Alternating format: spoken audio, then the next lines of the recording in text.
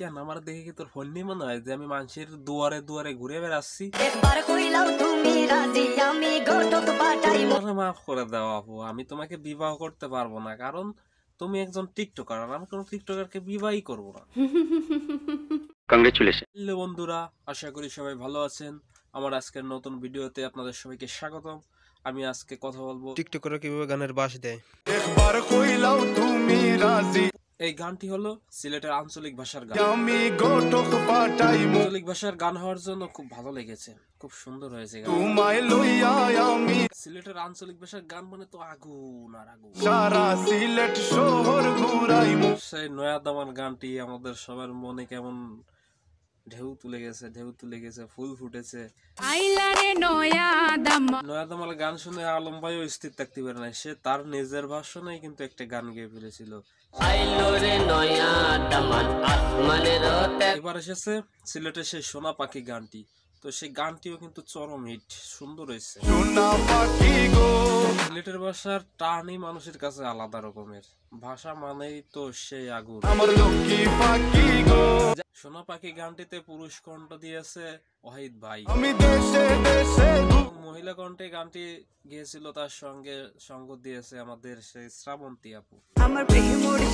মনে হয়েছে যে এই গানটির জন্য ওয়াহিদ ভাই এবং শ্রাবন্তী আপুর কণ্ঠে গাওয়ার জন্যই তৈরি করা হয়েছে। মিউজিক কম্পোজিশন ছিল অসাধারণ। মনে হচ্ছে গানের শুটিংগুলো করা হয়েছে ইটালিতে। কারণ ওয়াহিদ ভাই এবং শ্রাবন্তী আপু দুজনেই থাকে ইটালিতে দেখে মনে হয়েছে কিছু কিছু শুটিং করা হয়েছে গ্রিন স্ক্রিনের মাধ্যমে।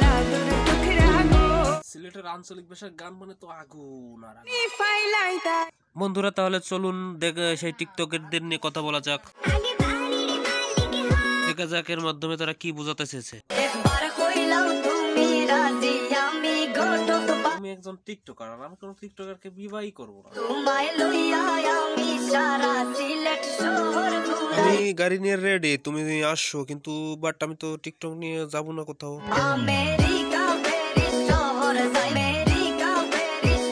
বিবাহই করব না।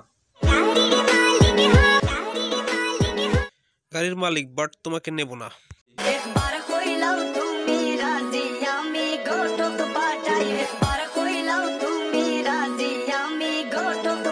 ছেলে মেয়ে রাজি কিন্তু বিবাহ হচ্ছে না কেন? এদের মূলত টাকার লোভ।